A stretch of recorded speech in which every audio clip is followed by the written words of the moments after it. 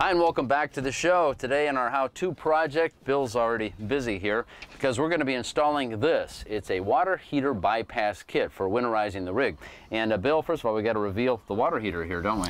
Yeah, they're in all different locations, of course, but this is an, a little bit easier one to see, and you can see both lines that are coming in. The top one is always the hot because the cold forces the hot out. So basically what you're going to do is you're going to remove the existing lines. And first you want to make sure you drain the water you make sure the propane is off and make sure electric is off if you have electric water heater gotcha and then this is our kit and we're going to be installing this uh, outside to show them how it works. Right this is a camco water heater bypass kit. They're about $18 president's club price at camping world and they're very easy to install. So if for some reason you're out and the water heater springs a leak for some reason you can simply shut this off and you can still have your water on without your floor getting drenched. Okay, let's go outside and do it. Okay.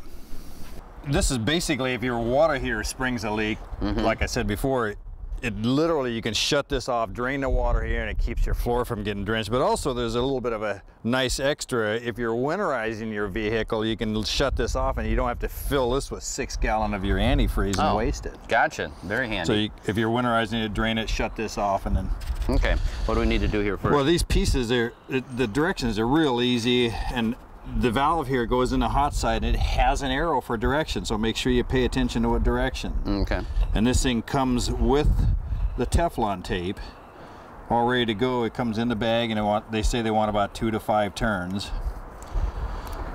And then it, literally we'll put this one right into the hot side of the water heater screws right in make it nice and snug make it you want to make sure they're good and tight you want them to check for leaks when you're done right. this is actually a check valve here as you can see and this is going to go in the cold side here. It just wraps around there about five turns. There. That's over there. Now we have a T that needs a little bit of Teflon tape too because it is going into pipe thread. So if it's plastic to plastic or there's a gasket, you don't need it. But if you're going to go plastic into pipe thread, you want to make sure you put some Teflon tape on it. And a couple of turns again. Sometimes on the plastic I'll do a little bit more. Mm -hmm. Takes up a little more slack because the plastic tend to be a little bit looser. Now we're simply gonna, once you tighten these down, we don't need to do it now, but once you tighten them down, this simply goes in between here. Mm -hmm.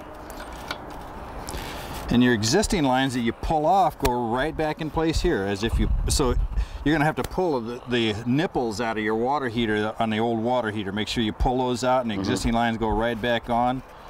Here's your valve, there's on, so there's then it, bypass. There bypasses your water heater. It literally bypasses the water heater for a couple of different reasons. Beautiful. Very okay. easy to do. And how much again?